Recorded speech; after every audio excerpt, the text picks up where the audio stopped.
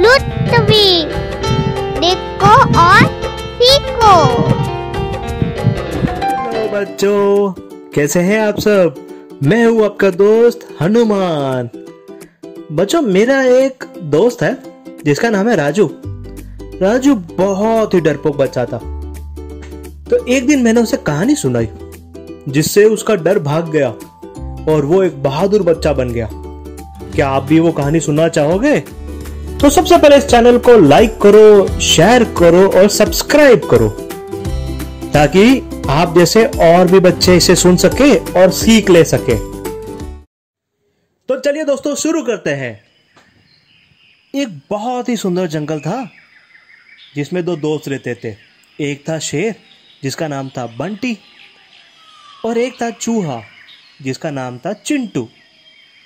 चिंटू चूहा बहुत बहादुर था। और बहुत होशियार भी। वहीं बंटी शेर बहुत डरपोक था। वो हर चीज़ से डरता था। एक दिन चिंटू ने बंटी का डर भगाने के लिए उसे स्विमिंग पूल पर लेकर गया और कहा कि उसे वहाँ से छलांग लगानी है। शेर तो ठहरा डरपोक, वो छलांग नहीं लगा पाया, जबकि चिंटू ने तो छलांग लगा दी थी। अब शेर के डर के कारण चिंटू बहुत परेशान था। और उस डरपोक शेर को उसे रस्सी से नीचे उतारना पड़ा। इसी तरह दिन बीतते गए, लेकिन बंटी का डर खत्म नहीं हो रहा एक दिन बंटी आराम फरमा रहा था नदी किनारे। तब उसे अपने चद्दर के नीचे कुछ महसूस हुआ। बंटी डर गया और जाकर नदी में जा गिरा। और वहाँ से आवाज़ आने लगा, चिंटू, मुझे बचाओ, चिंटू, मुझे बचाओ।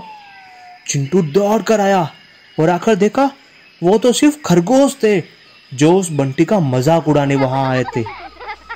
चिंटू को यह देखकर बहुत गुस्सा आया और उसने गुस्से में बंटी से कहा, बंटी, तुम तो एक शेर हो।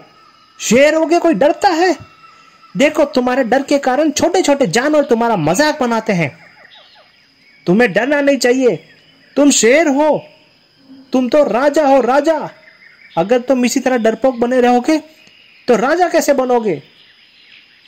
ये बात बंटी को चुप गई और बंटी को समझ में आया कि हमें जीवन में डरना नहीं चाहिए। उस दिन से उसने अपने डर पर काबू किया। अपने डर पर उसने विजय ली और एक बहुत बहादुर राजा बना। उस जंगल का राजा बना। तो देखा बच्चों, हमें जीवन में कभी डरना नहीं चाहिए। हर चीज़ का डट कर बहादुरी से सामना करना चाहिए। ऐसी और इंटरेस्टिंग कहानियों के लिए हमें सब्सक्राइब करें लाइक करें और शेयर करें। चलो बच्चों बाय बाय